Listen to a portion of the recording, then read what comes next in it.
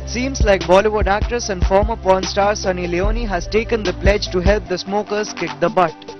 The actress has been roped in for an anti-smoking campaign along with Sanskari Babuji Alok Nath and Tanu Weds Manu fame actor Deepak Dobriyal. Present at the launch of the ad in Mumbai, Sunny Leone also confessed that she herself used to smoke. I like to always tell the truth, so the answer to that is yes. Um, and it was gross and disgusting. Um, so yeah, that's you know how the thought the thought was is like, oh cool, everybody's trying this, let me try. Um, but it wasn't. It's not for me. It never has been, and uh, it'll continue to be that way.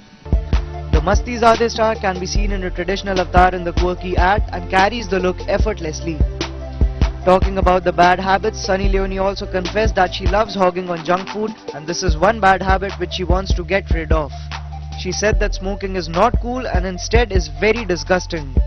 We hope everyone is listening to Sunny from ANI's Mumbai Bureau.